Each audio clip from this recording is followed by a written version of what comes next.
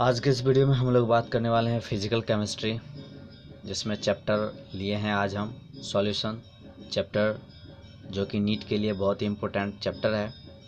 इसमें हम लोग कंसंट्रेशन टर्म्स का डिस्कस करेंगे आज इसके इस वीडियो में। तो जनरली कंसंट्रेशन टर्म जब भी बात करते हैं तो ये तीन तरह का आपको परसेंटेज वाले दिखते हैं, उसके बाद मोल फ्रैक्शन उसके बाद और भी डाइल्यूशन वाले होते हैं। तो सबसे पहले हम परसेंटेज की बात करेंगे इस वीडियो में। तो पहला परसेंटेज का क्वेश्चन बनता है वेट बाय वेट से, दूसरा बनता है वेट बाय वॉल्यूम से, और तीसरा बनता है वॉल्यूम बाय वॉल्यूम से। तो चलिए हम बारी बारी से डिस्कस करते हैं, और हम आपको ट्रिक भी बताएँगे किस तरह से आप इस परसेंटेज वाले क्वेश्चन को सॉल्व करेंगे। तो यहाँ पे कुछ पॉइंट हैं, आप देख लीजिए यहाँ पे। सॉल्यूशन का फॉर्मूला क्या होता है? सॉल्यूट प्लस सॉल्वेंट तो सॉल्यूट को हम यहाँ से बी से डिनोट करेंगे और सॉल्वेंट को ए से डिनोट करेंगे। जब ये दोनों मिलेगा, तभी सॉल्यूशन बनेगा। तो आपको ये पॉइंट याद होने चाहिए। चलते हैं नेक्स्ट वीडियो आपको मोल निकालना आना चाहिए। तो आप लोग क्लास एलेवेंथ में पढ़े होंगे। मोल किस तरह से निकालते हैं? तो एक बार मैं आपको बता देता हूँ। मोल निकालने के लिए फार्मूला होता है number of given particles by formula weight और दूसरा होता है mass given in gram by formula weight formula weight क्या है? अगर एटम दिया है तो उसका एटॉमिक वेट लेंगे। मॉलिक्यूल दिया है तो मॉलिकुलर वेट लेंगे।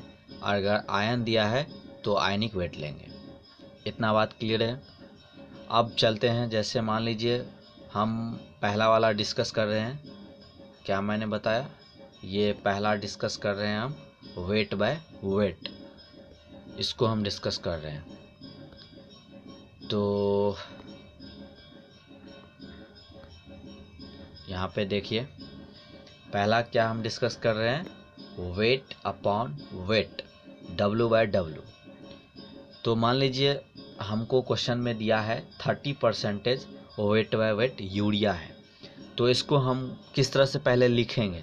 अगर आप लिखना सीख जाएँगे तो आप इस क्वेश्चन को आसानी से सॉल्व कर पाएँगे। तो देखिए, यहाँ पे हम लिखे हैं thirty gram urea is present in hundred gram of solution भाई thirty gram weight by weight है। जब हंड्रेड ग्राम सॉल्यूशन होगा, तभी तो थर्टी ग्राम यूरिया प्रजेंट होगा। तो इसको किस तरह से हम लिखेंगे? Thirty gram urea is present in hundred gram of solution मान लीजिए यहाँ पे अगर ट्वेंटी लिखा रहा था, twenty percentage weight by weight तब क्या लिखते तब लिखते twenty gram urea is present in hundred gram of solution hundred लिखना तो कंपलसरी है। और आपको जितना परसेंटेज दिया रहेगा, उसको लिखेंगे पहले। तो यहाँ पे ट्वेंटी दिया है। अगर यहाँ पे फिफ्टी दिया रहता तो यहाँ पे फिफ्टी लिखते। Fifty gram urea present in hundred gram of solution अब इसका फार्मूला किस तरह से बनाएँगे? किस तरह से फार्मूला लिखेंगे और क्वेश्चन सॉल्व करेंगे? तो फार्मूला यहाँ पे देखिए लिखा है percentage weight by weight equal to weight of solute solute को मैंने क्या बताया था? बी लिखेंगे तो यहाँ पे वही वेट बी लिखे हैं। उसके बाद weight of solvent plus weight of solute solvent को हम क्या लिखे थे? ए से और सॉलिड को बी से डिनोट किए थे तो यहीं पे बी लिखा है इन टू हंड्रेड करेंगे। तो आपको ये वेट बाय वेट वाला क्वेश्चन आसानी से सॉल्व हो जाएगा। तो चलिए मैं आपको एक क्वेश्चन दिखाता हूँ और उसको किस तरह से अप्लाई करेंगे। ये वेट बाय वेट तो आ जाइए, यहाँ पे एक क्वेश्चन है। आप इस क्वेश्चन को पढ़िए, क्या लिखा है? A solution is prepared by adding 2 gram of solute and 18 gram of solvent. Find percentage weight by weight. मैंने आपको क्या बताया परसेंटेज वेट वाले क्वेश्चन में आपको आ, क्या क्या यहाँ पे दिया है वो लिख लेते हैं तो हमको यहाँ पे दिया गया है जो टू ग्राम ऑफ़ सॉल्यूट है। सॉल्यूट को हम किस तरह से लिखते हैं? और डब्लू बी ये मेरा सॉल्यूट हो गया। ये कितना है? Two gram. उसके बाद क्या है? सॉल्वेंट हमको दिया है। इसको ए से डिनोट करते हैं। ये दिया है 18 ग्राम। कितना है? 18 ग्राम।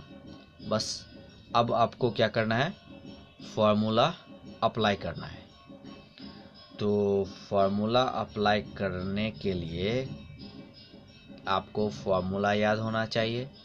तो फार्मूला मेरा क्या था? Percentage weight by weight equal to weight of solute upon weight of solvent plus weight of solute यही फार्मूला था। अब आपको क्या करना है? इस पर पुट कर देना है। तो वेट ऑफ़ सॉल्यूट मेरा कितना दिया हुआ है? Two gram. Weight of solute कितना है? Two gram. Two upon weight of solute कितना है मेरा?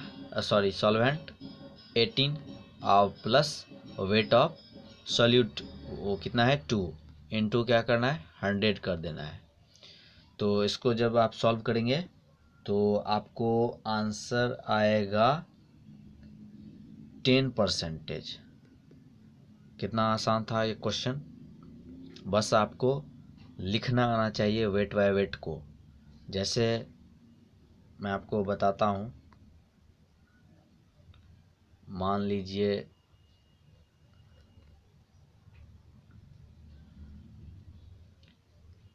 लिखा रहता sixty percentage weight by weight. तो इसको किस तरह से लिखते sixty gram solute present in hundred gram of solution. इसको इस तरह से लिखते तो चलिए, अब मैं आपको दूसरा पॉइंट बताने वाला हूँ। दूसरा परसेंटेज वाला किस तरह से, उसको सॉल्व करेंगे।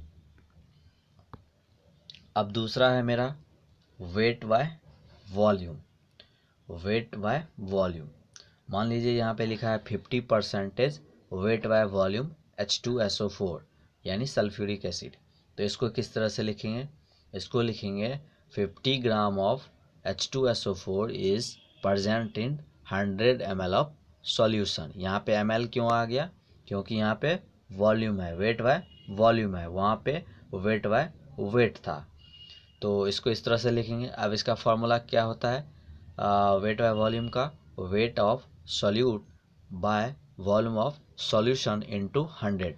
Volume of solution क्या? V V A plus V V वही है मेरा ये वॉल्यूम ऑफ़ सॉल्यूशन। तो इस पे डायरेक्ट फार्मूला पुट करेंगे आंसर आ जाए।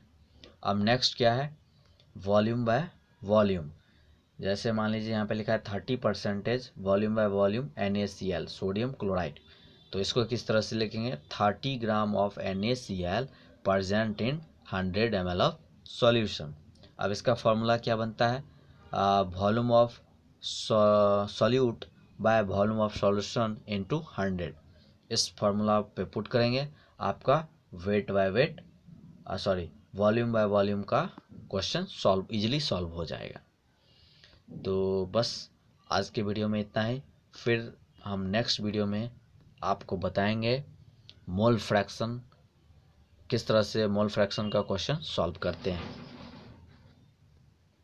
मिलते हैं नेक्स्ट वीडियो में।